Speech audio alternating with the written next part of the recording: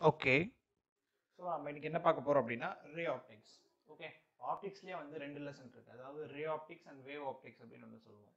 So இதில் wave optics வந்து already we uploaded so now we are going to start ray optics okay ray optics அப்படின்னா என்னன்னா இந்த லெசனில் we are going to treat light as a ray not a wave வேவாக treat பண்ண போகிறதுல ஃபுல்லாக லைட்டாக ரேவாக ட்ரீட் பண்ண போகிறோம் ஓகே ஸோ ரேனா என்ன அப்படின்றத முதல்ல எழுதிடலாம். ஓகே ஸோ ரே ரே அப்படின்னா என்னன்னா it is a very thin beam of light it is a very thin beam of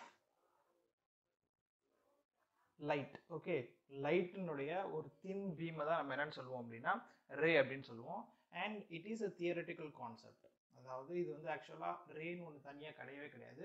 so தனியாக ஸ்ப்ளிட்டே பண்ண முடியாது. ஒரு ரே அப்படின்னு சொல்லிட்டு. ஸோ அதனால் we can say this is a it is a theoretical concept அப்படின்னு சொல்லுவோம் ஓகே ஸோ இதில் டைப்ஸ் ஆஃப் ரேஸ் அப்படின்னு நம்ம எடுத்தோம் அப்படின்னா ஸோ டைப்ஸ் ஆஃப் ரேஸ் என்னென்ன டைப் ஆஃப் ரேஸ் இருக்குது அப்படின்னு பார்த்தோம் அப்படின்னா okay before writing types of rays we can write what is beam okay so types of ray எழுதுறதுக்கு முன்னாடி பீம்னு எழுதிடுவோம் பீம் பீம்னா என்ன?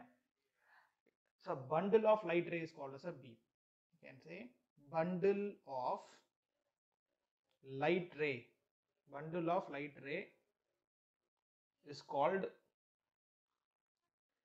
beam அப்படின்னு சொல்லுவோம். ஓகே லைட் ரேஸோட அதாவது எல்லா ரேவும் பண்ட் கம்பைன் பண்ணால் அதை நம்ம என்னன்னு சொல்லுவோம்? ஒரு பீம் அப்படின்னு சொல்லுவோம். எக்ஸாம்பிளுக்கு வந்து ஒரு டார்ச் லைட் இருக்கு.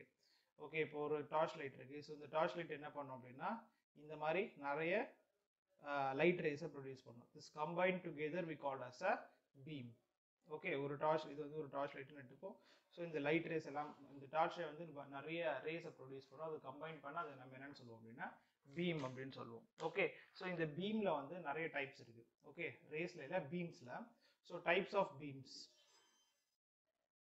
types of beams என்னென்ன பீம் அப்படின்னா first beam we call as a parallel beam